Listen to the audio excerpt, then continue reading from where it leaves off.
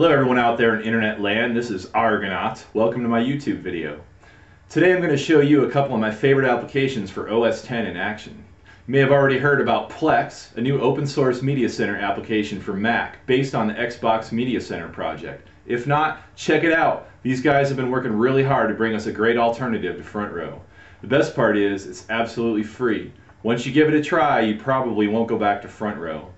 I've been using it for a while now, but the thing that kept me from switching over earlier was it's really hard to take advantage of all of Plex's great features using the Apple remote, and I prefer leaving my keyboard at my desk where it belongs. Then I got my iPhone and I saw how much potential it had, so I started looking around for a remote control app that I could use with Plex. There's a few options out there, including the XBMC remote, but I couldn't get it to work reliably without causing Plex to crash. So I kept looking and I discovered a great solution. I came across an app called Snatch, which gives you all sorts of control over your computer from your iPhone, including the ability to create custom remote control screens. I'm going to show you how I use Snatch as a remote control for Plex. Okay, so I downloaded Snatch from the iTunes App Store and installed it on my iPhone. There's also a small application called Snatch Server that you need to download from Hoofian's website that allows your computer and your iPhone to communicate through your Wi-Fi network. There's a user manual on the website that makes it pretty easy to set up and configure. Alright, let's go to the iPhone and take a look.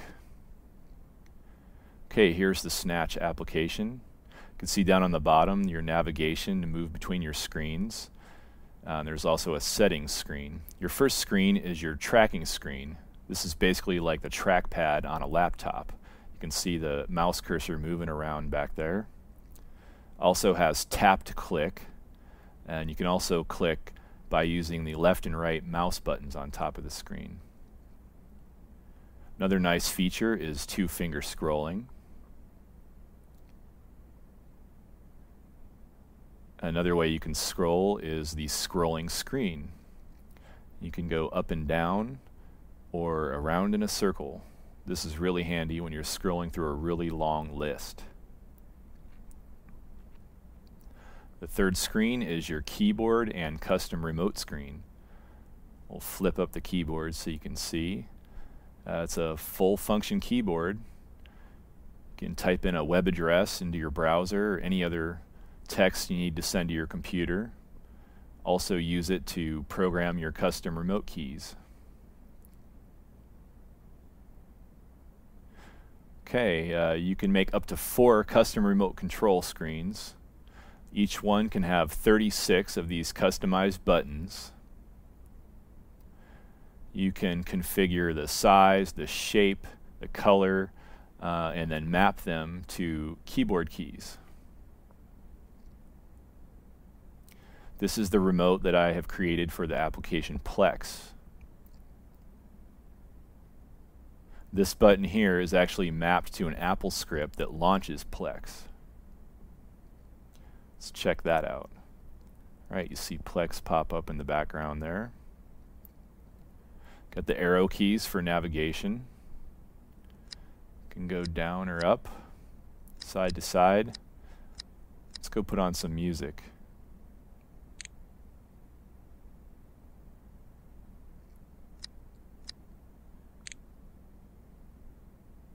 Plex is actually hooked up to iTunes library.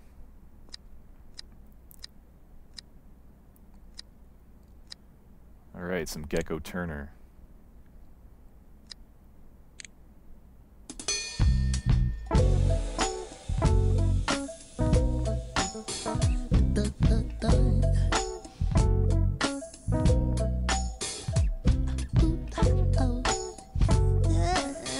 Button brings up the music OSD, lets you control see information about the song. Of course, there's system volume up and down.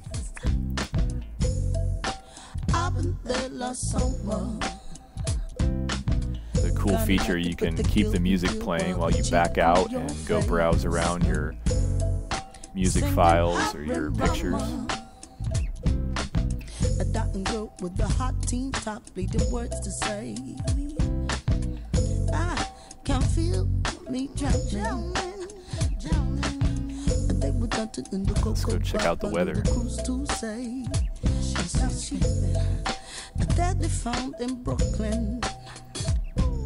Looks like rain. Configure the system, access to all of Plex's settings and controls. Applications.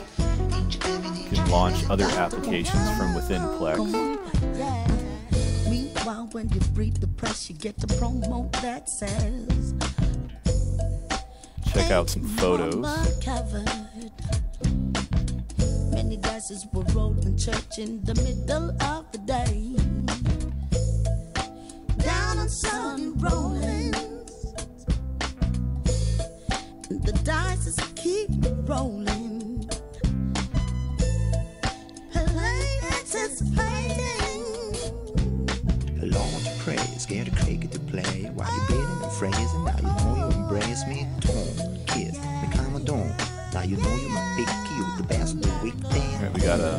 Button here.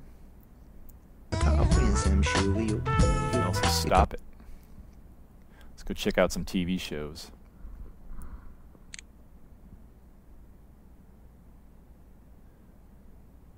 So Plex will actually scrape fan art, theme music, and information about the episodes all automatically.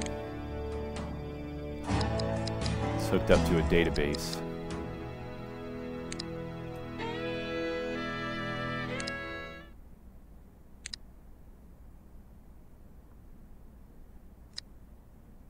Go check out some movies. So the buttons I've got here will move it one in either direction.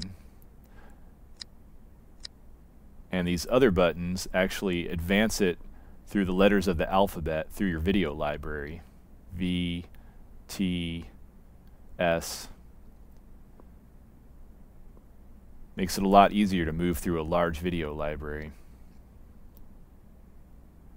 WALL-E.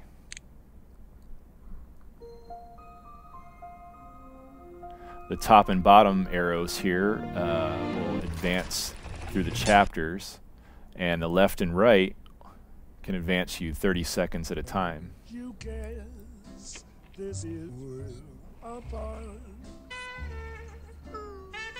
can pull up player controls for the movie. Change settings for the audio and subtitles or the video settings if you need to put on interlacing. Zoom in. You can pull up this info screen here, let you see information about the video playback, dropped frames and such if you're a video geek. Up and Down volume.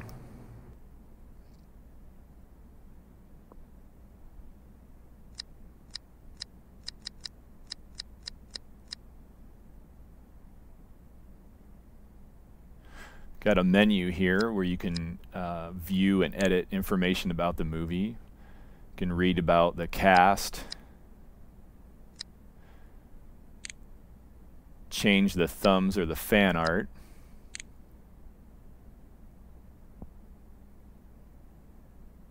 It's hooked up to a database.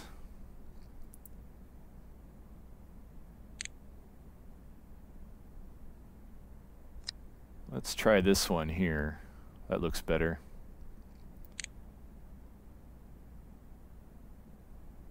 All right, and it's changed.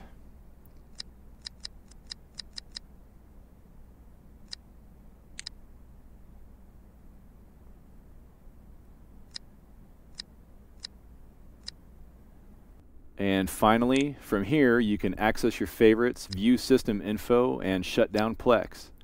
Thanks for watching. Hope you'll check out these applications, Plex and Snatch. I've been having a lot of fun with them, and I think you will too.